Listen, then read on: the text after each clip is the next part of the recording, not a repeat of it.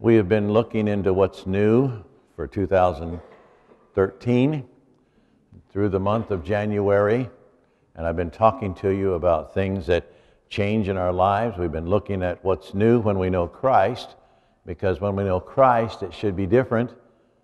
That which is new should be new and fresh to us every day, because God is in the business of making all things new. He can make you new. This can be the best year you've ever had, even in the midst of all the struggles that we see on every hand. And the problems and issues that we see in our world, God can handle those things, and He can handle them in your heart and in your mind, and they don't have to frustrate you. So, we talked last week about a new start. And I trust that God will give us a new start this year, even today, that today might be a new start. A couple of years ago, I shared a message with you, and I have altered that message somewhat today. But if you have a pencil and paper, I just challenge you to take it out and write down some of these verses and some of these scriptures and remember some of these things because as we look at what's new for 2013 and a new start, I want to talk with you about this subject today. And I use this because this is important. Are you a victim or a victor? Some of you will remember maybe a couple of years ago when I shared that message. Are you a victim or a victor? And I just want to share it again because there's so many people in the church who have not heard this, this thought and this idea. Because when we're in Jesus Christ, we are not victims, we're victors. We live on the victory side and we're to live on the victory side. And yet, do you know what I discover? I discover so many Christians who still feel they're victims. It doesn't matter what the situation is. It doesn't matter whether it's a home situation, whether it's a work situation, whether it's something out in our society, we feel that we're victims and we feel that people are against us. I talk with people continually who tell me that everybody's out to get them. I hear it all the time. And I, and I, just can't believe that everybody's out to get me. I don't believe that. I believe the Lord Jesus is here with me. I think He's walking with me and He's talking with me and fellowshipping with me and helping me and strengthening me and encouraging me. And all the things that I preach, I believe they're true. I know it. I live it day by day. I can't stand here and preach this stuff if I don't believe it in my heart, and I do.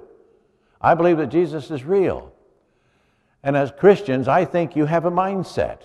And I think it's time to change your mind if God speaks to you today and speaks to your heart, and I hope He will. And if you're in here as a victim today, I hope you'll go out of here as a victor, okay? We live in a world where everyone seems to be a victim in some way or another, as I just mentioned to you. But God's design is that we make the things life may throw at us into stepping stones to victory instead of becoming a victim. I look in the scripture and I see a lot of people who went through very, very difficult times and real struggles. I look at Peter, for instance, and you know how he denied the Lord and said he never would. I look at Peter, how he was threatened and his life was threatened, and all of those things happened to him. And he certainly needed, um, he, he needed to claim victory in Jesus Christ. I see Paul the Apostle I, I think of when Paul and Silas were imprisoned. I don't know if you know the story, but they were in Rome, and, and, and the scripture tells us that it happened that when they prayed, there was a certain girl who was possessed by a demon, and she was following them through the streets, and she was screaming at them and just yelling at them day after day after day. And she did it, the scripture says, for many days. She, she said, These men are servants of the Most High God who proclaim to us the way of salvation. And she kept doing that and doing that and doing that. And Paul turned around and said to her, I command you in the name of Jesus to come out of her. And he called the demon right out of that girl. Now, you would say, wow, that was a wonderful thing. And she ceased what she was doing immediately. She stopped doing it. That was a wonderful thing. And you would think, wow, isn't that great he did that? But you know what? The men of the city were using this girl. She was a circus piece, if you will. And uh, she was, they were making money with this girl and uh, with, with her mind being gone and so forth. And they were so angry, so angry at Paul for doing that, for freeing this, this, this girl from, they, that they gathered those two together and they took them into the magistrates and they said, These people are doing things we don't do here in Rome. They're Jews and they're doing things we don't do here in Rome. That's just what the scripture says. They believe things we don't believe. And so the magistrate said, Cast him into prison. And when they cast him into prison, he said, Now listen, we have to make sure they're secure. And so they put him in the center of the prison, the Bible says, the middle of the prison, and they locked them down and even put chains on their legs and on their hands. They bound them in chains. And so there they are in the prison. And as they're there, they began to sing praises to God. Now, I don't know what you would do in that situation. You'd probably wish you had your cell phone. You could call a lawyer or call a friend or call somebody or do something. Uh, you would wish you had something that would help you get out of that place. You would be disgusted and busted and hurt and, and troubled and in a mess. And you just, oh, what am I going to do? I'm so miserable here. Let me tell you what Paul and Silas did. You know what they did? What they do? What they do? Loud. Okay, they prayed and sang, didn't they? They began singing in prison. They began praising God. They began worshiping the Lord and praising Him. Now, think about this scene. There's a jailer there that said, I can't believe you guys. What's going on? Here you are bound this way. And he said, What do I need to do to be saved? Well, let me tell you what happened when they were praying and praising. When they were praying and praising, they didn't have to cry and, oh God, what are we going to do? Can you deliver us, God? Can you get us out of this mess? Can you help us, God? We're so troubled, we don't know what to do. Listen, they just began to praise Jesus. We love you, Lord, and we're here for you. And we want to glorify your name, and you just do what you want to do with us. And you know what God did? God sent an earthquake. And those old chains just fell off. And the jailer was so scared and so afraid that he got his sword and he was ready to fall on his sword. And Paul said, Don't take your life, it's okay. Don't take your life, it's all right. And he said, What must I do to be saved? Listen, you have people watching you, you have family and friends watching you, you have people observing how you handle the issues of life. Are you handling like Paul and Silas in the midst of the troubles and the turmoils and the, messes of life? Are you praising and praying and trusting? Or are you grumbling and complaining and calling out for help and praying that God will deliver you? Listen, God knew they needed to be delivered. They didn't even have to ask. All they had to do was praise. Praise. Keep that in mind as we go through this lesson because it's a very important thing. We think of Job. Job was in big trouble too, and he lost everything that he had. And it's an interesting thing as we look at that scripture because in James chapter 5, verses 10 and 11, listen to what these words say. These words say, they say, My brethren, take the prophet who spoke in the name of the Lord as an example of suffering and patience. He suffered, but he had patience. Indeed, we count them blessed who endure. You have heard of the perseverance of Job and seen the end intended by the Lord. The Lord is very merciful and compassionate, it says. The Lord is very merciful and compassionate. God has an end. God sees beyond what you see. And if you find yourself a victim of something today, listen, God sees the other side. God sees the end of it all. God sees what's going to happen in the future. And God is very compassionate and very merciful. Oh, I could tell you of David and his conflict with the Amalekites and all of these things. But David praised the Lord and worshiped God and trusted him. So God's design is that we take the things that happen to us in life and instead of calling ourselves victims and wondering how God can deliver us from these terrible people who are torturing us and doing whatever they are to us, Lord, how can I be a blessing to other people? How can I worship you, praise you, thank you, give glory to you? How can my life count for you? And if we would do that, we would stop being victims and we would become victors. You are of God, John says. John the Beloved in 1 John 4 4, he says, You're of God. I've been telling you that it's different for the Christian. This year can be different for the Christian. You are of God, little children, and have overcome them. You've overcome them because Jesus has overcome them. Jesus said, Don't be discouraged because I have overcome the world, he says. And then he says, Because he who is in you is greater than he that's in the world. Satan can come against you. Satan can bring people against you. Satan can bring circumstances against you. Satan can bring your employer, your government, your friends, your everything in the world against you. And you look and you say, I don't even want to live anymore. This life's not even worth living. And we can just be a victim and a victim, and a victim. But I tell you something. When we start seeing and understanding that God is in us, He said, You're of God, little children. You become a child of God, and greater is He that's in you than He that is in the world. 1 John 5, 4 and 5 says, For whatever is born of God overcomes the world. There you have it. You either believe the, world or you, the word or you do not. Whoever is born of God overcomes the world, and this is the victory that overcomes the world, even our faith. Who is he who overcomes the world but he who believes that Jesus is the Son of God? Romans 8:37 says, "Oh, in all these things we are more than conquerors through him who loved us."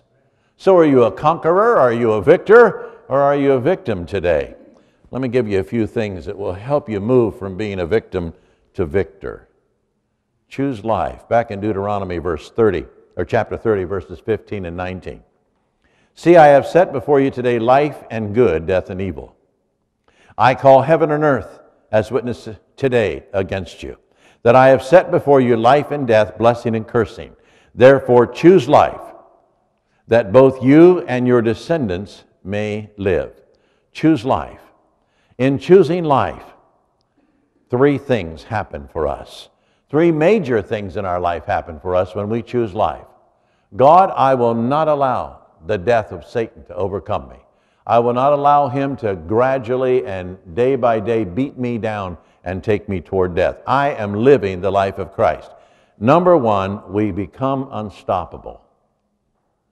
I'm telling you, you become unstoppable. When you believe that Jesus Christ is the life, I have the life of Christ living in me. When you believe that, you will accept these words I can do all things through Christ who strengthens me. Are you ready for them? Listen, many of you know them. Many of you have memorized those words. You could say them in the place that I just said them. You could come up here and quote that verse. I believe, I believe in my heart that I can do all things through Christ because he strengthens me. But when you get out there where the rubber meets the road, how's it working for you? How's it working in the everyday life? It better make you unstoppable. I'm going to do what God wants me to do. Nothing will deter me from that. Satan can't come against me because greater than is he that's in me than he that's in the world. And Satan, you have no effect on my life. You cannot stop me. You cannot hurt me. You can't take things from me. You can't make me want. You can't make me desire things. You can't tempt me. You can't do any of these things. I do not allow you to do that. Why? Because greater is he that's in me than he that's in the world. You say, well, can't Satan come and tempt you? Well, sure he can, but he's not going to test me very far. He can try to tempt me, but I'm not going to pay a bit of attention to him. Get out of here. Get thee behind me, Satan. Get away from me. Temptation only really comes when I allow it to happen. When I say, well, yeah, maybe that might be a good idea. Maybe that's the way I want to go. I might. Listen, we stop it. Nip it in the bud. That's what we do. We stop it immediately. Do not allow Satan to tempt me. No, I know better than that. Do you know how I know better than that? Because I know the Word of God. I know what God wants me to do. I know what God doesn't want me to do. I know how God wants me to behave. I know how God wants me to think. I know how God wants me to set my mind. I know the things He wants me to set my mind upon. And you say, well, you know that because you're a preacher and you know the Word and you've been around all these years and you've learned it and you've studied it and you've preached it and you teach it. Listen, the same word is in your heart and in your mind. You have the conviction of the Holy Spirit to tell you what's right and what's wrong. Thank you. Come on, loud and proud. Let's say it. Amen. We have the conviction of the Holy Spirit who tells us what's right and wrong. God will never leave you, God will never forsake you. And that means when you're in a situation and you don't know which way to turn, God will always show you the direction to turn. He'll be faithful. His Holy Spirit does that. 2 Corinthians 4 7 to 15. But we have this treasure in earthen vessels that the excellence of the power may be of God and not of us. I want people to see the power of God in me. I want people to see the change that God has made in me. But I don't want them to see me, I want them to see God. We're hard pressed on every side, yet we're not crushed. Feel hard pressed? Sure you do.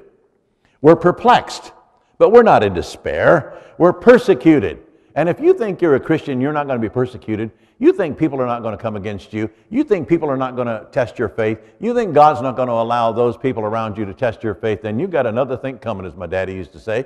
We know that if we're in this world, we're going to suffer persecution. So I have a little phrase that's just get over it. Fran knows about that. She teases me all the time about that. But I mean, what do we need to do in this life? We need to just get over that, in essence. And we need to just understand that, yes, we're going to go through persecution. Yes, we're going to suffer as a Christian. It's not going to be easy. Everybody who was anybody for Christ went through difficulties and struggles. Why do you think Paul was in prison and in chains and bound and all of those things, and you deserve to be free of that? Huh? Why do you think they had to suffer? Why did Paul and Silas have to go through these things and Barnabas and all these people have to suffer for Jesus? Why did they do it? They did it so that you can know the freedom in Christ that you have. Come on, church, you need to know it. You need to live in it and walk in it. Listen, we're persecuted, but we're not forsaken. You get that phrase? We're persecuted, but we're not forsaken. You can persecute me, but God's still with me. He'll never forsake me. We're struck down, but not destroyed. I can tell you, you can burn this body, but you can't take my salvation. You can take everything in this life from me, but you can't take my Jesus. You can take everything in this life, but you can't take heaven. It's a promised home, and I'm going to be there. So the worst you can do to me is kill me. Oh boy. Everybody might say, Well, are you just crazy, mister? Kill me. well, I'm going to tell you something. I just wake up on the other side. I'll just wake up with Jesus. And I'm going to tell you what, I'm going to be a whole lot more happy than you are if you're still here. I think about those that have gone before, and I'm not sad for them one bit. Just lost George and my dad and all these folk, and you've lost loved ones, and some have lost their dads and different ones in here. I'm going to tell you what, those who are in heaven are dancing on streets of gold and enjoying being there with the Lord Jesus Christ and they're just in awe. As Jim sang last week, I can only imagine. just in awe. They're just in awe right now in heaven. Well, that's where we're going. We're not destroyed. Always carrying about in my body the dying of the Lord Jesus. Now, this next two verses, you got to think with me a little bit here, okay? But let's get this. Always carrying about in my body the dying of the Lord Jesus. Because he suffered, I will suffer, that the life of Jesus also may be manifested in our bodies. See, Jesus was victorious, so we're going to suffer, but he was victorious, so we will be victorious. For we who live always uh, are, are, are always delivered to death for Jesus' sake, that the life of Jesus may be manifest in our mortal flesh. Delivered to death, yep, people come against you, people would try to destroy you. Satan is always against you, he will destroy you if he can, but the life of Jesus is manifest. See, the difference is I'm of Christ. I think different, I act different, I walk different, I talk different. I'm just different. And the only reason I'm different is not because I'm a good guy, not because I've got it all together in life, not because I read the right books and I know psychologically how to handle you and other people and how to deal with these things, but the difference is I have Jesus. He makes the difference. People say to me, Well, if you bang your finger with a hammer, don't you really cuss and go a blue streak? The answer to that is this N-O. I do not cuss. I do not take the Lord's name in vain. I don't use damn and hell. I don't use any of those words. I never, ever, ever, ever use any of those words. Why? Because Jesus delivered me from all of those words after I got out of the military some time back. I prayed and asked God to take that out of my vocabulary. I asked God to take that away from me, and I never think about using those, no matter what happened. I don't say, oh, blank. I just don't. And it doesn't make me any better, folk. It makes me a person who's been delivered. I used to. I said, Satan, you've used me long enough. Well, you mean to tell me you don't? Oh, yeah, I don't. All right. So then death is working in us, but life in you. So Satan's coming against me, but what's it do? It brings life in other people. The next thing it does after it makes us unstoppable is it subsides stress. Wow. I don't want to start over here with Eric and go around the room and ask who's got stress. I see that. You're looking at me like this. Oh, you know, because every one of us has stress. But you know what? The stress can come, and the stress can rest upon us, and it can ride us so hard, and it can drive us to certain points. But you know what? We can look at that stress in the eye and say, You're not going to get me down. I'm not going to allow this to happen because I'm going to take this stress and it's now become a terrible burden and I'm going to give it to Jesus. And I go to the Lord and I go to the cross and I say, Lord, your word tells me I can cast all these cares and these worries and these frustrations and this anger and this bitterness and hatred, whatever it might be, I can cast it upon you because you care for me. So, Lord, tonight I want to go to sleep. Haven't been sleeping very good for the last few nights. I've allowed Satan to allow that stress to just get me in turmoil. But tonight I want to rest. And in Jesus' name, I allow you to have this stress, this pain, this suffering, this hurt, this whatever it is. Lord, you take it. When was the last time you told the Lord that you want to cast it on Him because He's promised that He'll care for you and deliver you? That's what you need to do. It subsides stress. Third thing it does, it gives us victory. That's what we're talking about. Romans 8:37 says, "In all these things, when all these things come to us, we're more than conquerors. We are more than conquerors because we have chosen life." The second thing we need to do is walk in faith. Now, I mean walk in faith. Don't tell me you have faith if you're not walking in it. You're only fooling yourself. You're kidding yourself. Faith is active. Faith is something that you do, not something that you have in your head. You say, Well, I trust in Jesus and I believe in Him, so I have faith in Jesus Christ. Listen, that faith must become active. You have to live that faith every day. You have to walk it, you have to talk it, you have to believe it in your heart and let it come out in your actions. If it does not come out in words and in actions, then you have no faith. Don't kid yourself. Well, I'm a person of faith because I go to church, so I believe in Jesus. No, you believe in Jesus when you start living like Jesus. Show me. Don't just tell me. Let me see Christ in you. Paul said it over and over. He said, Christ in you, the hope of glory. Christ is in you, living in you in the person of the Holy Spirit. God is right there with you. God didn't save you and leave you and go back to heaven, and someday He's going to take you back to Him and you just struggle and make it on your own here. He put His very person, His very self, His very entity in you in the person of the Holy Spirit. He lives in you. And that person indwells you, the Holy Spirit, God living in you. He knows every thought, every action, everything you do. And what we do is we begin to walk in faith. Wait a minute, Jesus said I can trust him for that. Wait a minute, I don't have to worry about my finances. Wait a minute, I don't have to worry about these things. I don't have to struggle with these things because we walk by faith and not by sight. Subst- uh, substance of things hoped for, Hebrews says. There's a substance to it. There's something more than just in your brain. Do you have faith? Yeah, I have faith. James says, You show me your works, and I will see your faith. James said, You show me, I'm saying it again because I want to make sure you got it, your works, and I will see your faith.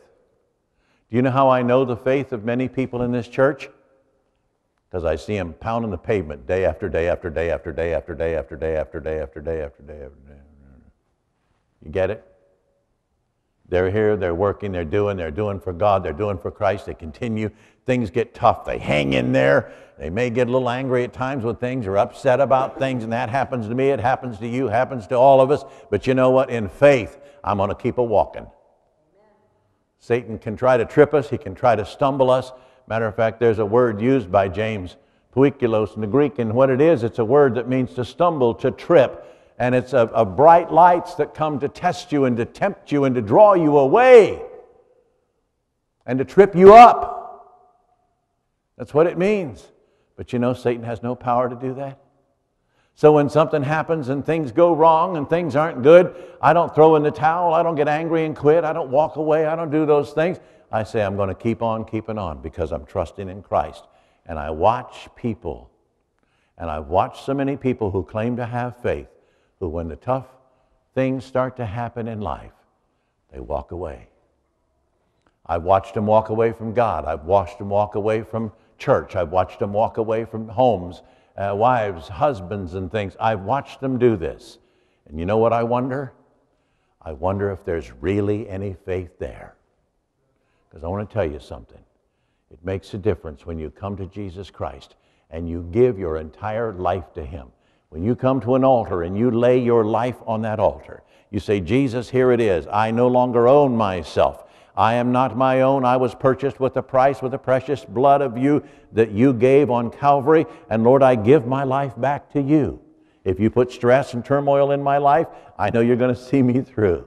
If you put people into my life that are unfaithful and don't work, work with me and help me, and so I, I, it's all right because I'm still going to be a Christian. I'm still going to walk with you. I'm not going to give up. I'm not going to quit because faith is a walk.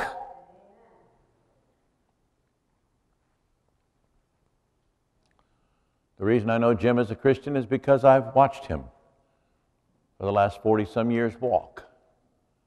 Oh, I've seen him stumble, I've seen him fall. I've seen him go through difficult times and troubles, and he's watched my life. But we both still stand for Jesus. That's what it's all about.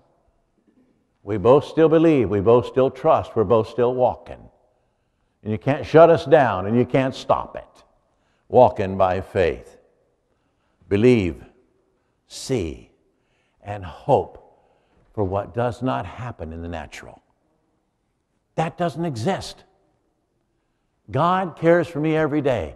God meets my needs. You can get up and say, I don't know how I'm going to make it through this day, and I don't know how we're going to do this, and I don't know how this is going to happen, and I don't know what, but I'm going to tell you something. When we see God doing the supernatural, the things that we cannot believe, things just happen, just take place. And you say, Whoa, how did that happen? It happened by faith. I'm a child of God, and He owns me and He's going to work in other people and other situations to bring things around, turn things around, fix things, and take care of things. I don't even know what He's doing, but He's doing it. And when you begin to see that, you know you're walking in faith. When you're stumbling and tripping and laying in the muck and mire all day and every day and you don't know why and what, listen, God's doing unbelievable things. The third thing we need to do is speak faith. Speak in faith. Speak in faith. I find very few Christians do this. I'm telling you, very few Christians do this. Listen, write those verses down, but I'm going to tell you about speaking in faith. Speaking in faith say, I may, says, I may be going through this difficulty. I may be having this loss. I may be hurting in this way. I don't understand what to do. I don't know what's going to happen, but I do know this. I do know that I serve a risen Savior. He's in the world today. I know that He cares for me. I know that He will never leave me or forsake me. I know that He will always meet my need. I know that He will always be faithful. I know that God will never fail. I know that God will never let me down. I believe these things in my heart. I trust Him and I speak faith. I get so tired of hearing people who say I'm Christian. Quote, I'm a Christian, I'm a Christian, I'm a Christian but this is bad and that's wrong and somebody's hurting them and somebody's going to do this and this will never happen and you will never win there and we'll never have victory there. And you know, I'll tell you what, when I sit down with, with people in the church, I let them know right away, you're going to walk with me in this ministry? We're going to trust Jesus Christ for everything, and He's going to meet our needs, and we're not going to, we're not going to be faithless people. We're not going to sit in the board and try and figure out how to work all the details out and everything else. We're going to put it in the hands of God through prayer. We're going to trust Jesus for everything, and He's going to do it. And you know what? I stand here before you and can tell you that He is faithful. He's faithful. I can tell you he's never let me down. I mean, never. Never, ever, ever let me down. Lots of people have. Lots of friends have. Lots of family have. People have through the years. But Jesus has always been my side, by my side. He's always been my comforter. He's always been my peace. He always brings me joy. I know He's there to help me. I know He loves me. How many of you have just experienced a little bit of that, at least in your life? Can you put your hands up? Look at the hands. This is the church of believers, thank God. Speak faith. I'm telling you today, it works, folk. Oh, Romans 10, 8 to 11, but what does it say? The word is near you, in your mouth and in your heart. That if you confess with your mouth the Lord Jesus and believe in your heart that God hath raised him from the dead, you will be saved. For with the heart one believes unto righteousness, and with the mouth confession is made unto salvation. For the scripture says, Whoever believes on him shall never be put to faith. Speak faith. Act on what you believe. Act on it. You say, I believe this and I believe that and I trust and act on it. I know you say, well, isn't that the same as living it? Well, you need to live it every day, every moment. You need to speak it, you need to believe it, you need to trust it, but you need to act on it. You need to act on it. God is going to see me through. I trust God. Now, if I'm looking for others and other things and other circumstances and other entities to help me and bring me out of these things and work, listen, I'm looking to God and I act on it. And you need to step out and act on that. Deuteronomy 30, 14 says that he, you may do it. In Hebrews chapter 11, there's a whole list of people who are heroes of the faith. Listen, heroes of the faith. Every single one of them acted. Read it over. This is what they did. God isn't telling you in Hebrews 11 what they believed. God isn't telling you in Hebrews 11 what they hoped would happen. God is telling you in Hebrews 11 what they did. They acted. I remember when I was a child. I've told this story, and many people in this place probably have heard it, but I'm going to share it. When I was a child, you all know my dad mom, many of you did, and uh, you know how they trusted God. I was a child, I was one of many children living in a home where we had three bedrooms and a path. Did you get that? Out back, we didn't have running water in the house. We didn't have a lot of things. We had a stove that we put wood in and uh, kept it going and so forth. The water was heated on the side of the stove. You all remember that? I remember those days. All right, some of you say, What are you talking about? Look, Google it. You'll find it. wood burning stoves of oil. You'll understand those things. You'll see them. Anyhow, there was a time when we had no food. No food in our home. Thank God for Faith Alive Pantry. That's a wonderful thing. It helps us, doesn't it? There was a time when we had no food. And you know what my dad did? My dad said, many of you know this story, but that's all right, it bears repeating. Dad said, Set the table to my mother. Set the table? Set the table. We're going to eat. I think she had an apple and something else in the whole house. How am I going to set the table? My mother got out the plates and the silverware and the forks and the knives and set them and the napkins and the whatever else you put on the table. And she got out the bowls and the platters and whatever it was and set it on the table. And the whole table was set. And Dad said, All right, children, come on, let's sit down. Yes, we thought he had lost it. We didn't know what had been going on with Dad. What is this? Didn't smell a thing cooking. We knew Mom wasn't in the kitchen cooking. She had nothing to cook. And we sat down at the table. My father sat at the head of the table as he always did, and he opened his Bible. He began to read. And I don't know what he read, but he might have read, My God shall supply all of your need. I don't know. But then he bowed his head and he began to pray. And he said something like, Dear God, we're here to serve you. I've brought my family to this place to serve you. And I'm here for that purpose. And I want to serve you. And, and, and Lord, my family's hungry. And I know you know that. And we need to eat. And you need to provide for us.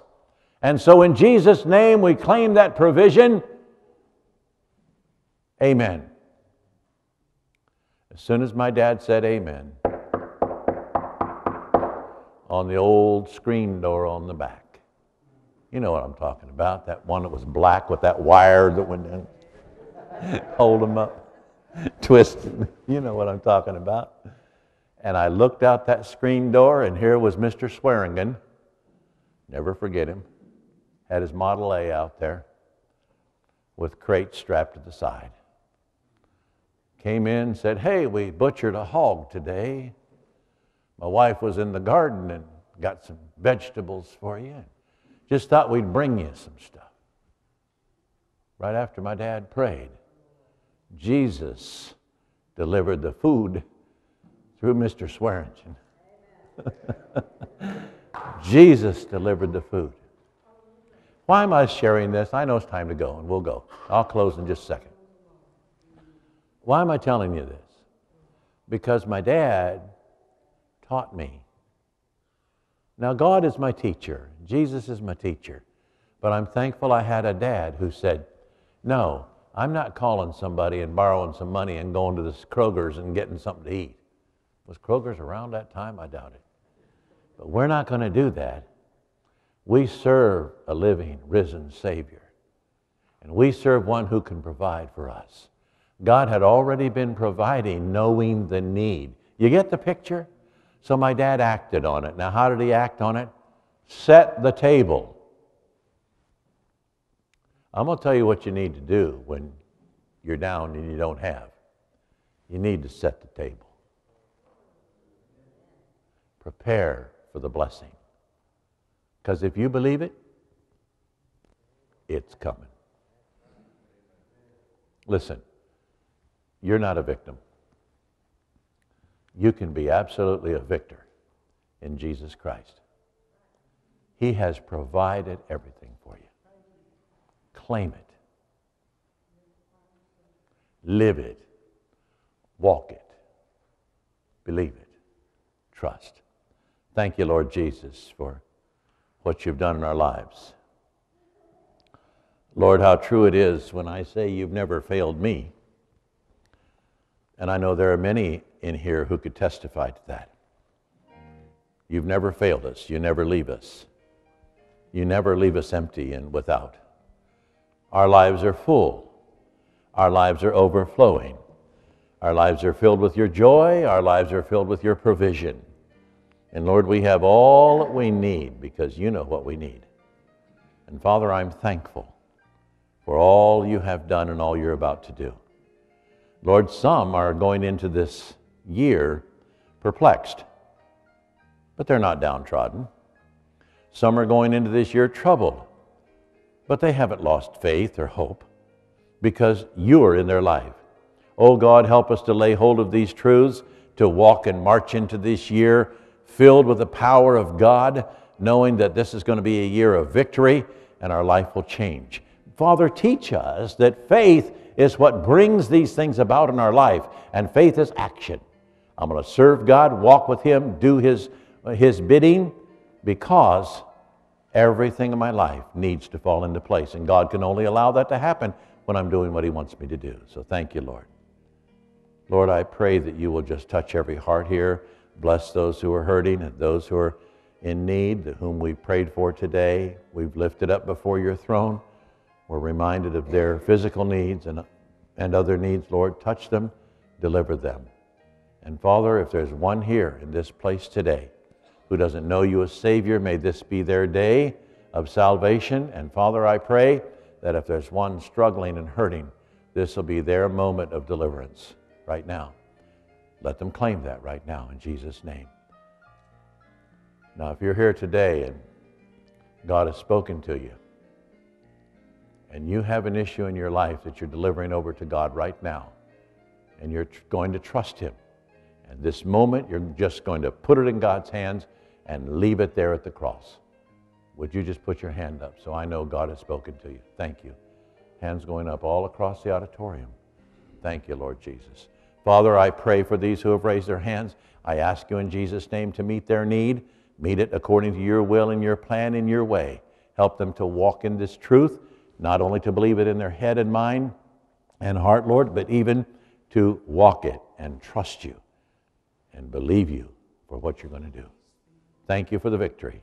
In Jesus' name, amen. amen.